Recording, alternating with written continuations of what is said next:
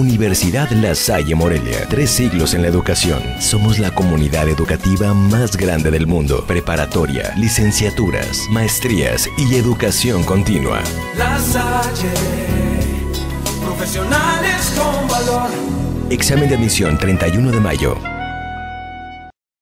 La Secretaría de Educación de Michoacán emitió 50 certificados de duplicidad de claves e investiga otros 350 casos en los que dos o tres personas cobran con el mismo número de identificación. Apenas estamos iniciando los procedimientos.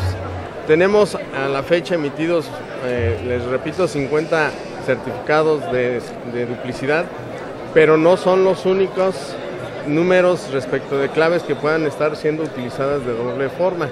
Ahí al parecer tenemos en una relación preliminar 350 claves más que van a ser igualmente investigadas. El secretario de Educación Jesús Sierra Arias dijo que con la suspensión de estos certificados se permitirá detectar a los verdaderos dueños de las claves y a los que estaban trabajando o cobrando de manera ilícita y corresponderá a las autoridades competentes determinar sanciones. Si unilateralmente la Secretaría suspende el pago de una persona, esa suspensión puede dar origen a un delito penal en contra de la persona que suspendió el pago porque no se tiene el derecho de hacerlo.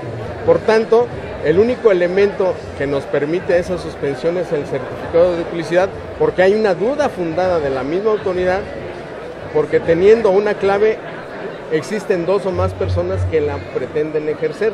Sierra Arias declaró que en el marco de la primera reunión nacional de experiencias y perspectivas de las academias sobre la didáctica educativa centrada en el aprendizaje y el uso de la tecnología de investigación y comunicación, donde se habló de los avances en materia educativa y el respaldo del gobierno a la reforma de este rubro. Para hacer saber al presidente de la República, Enrique Peña Nieto, y al secretario de Educación Pública, don Emilio Chofet Chemo, que estamos comprometidos con el nuevo modelo educativo para la República Mexicana.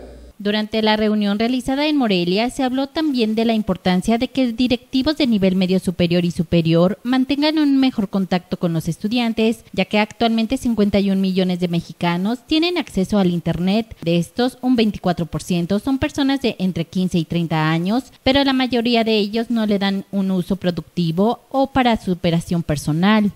Con información de Sandra Sáenz, informa Quasar TV.